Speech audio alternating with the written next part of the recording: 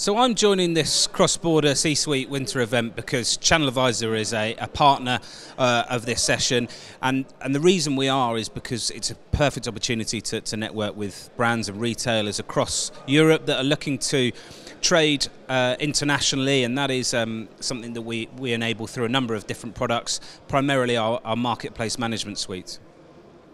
the best highlights and experiences so far for me are the pitches. Uh, great to hear from some leaders in the industry about uh, their journeys in, in cross-border, some of the, the things that didn't go as well, but also some of the success stories and, and just highlighting what an exciting and dynamic space we're in.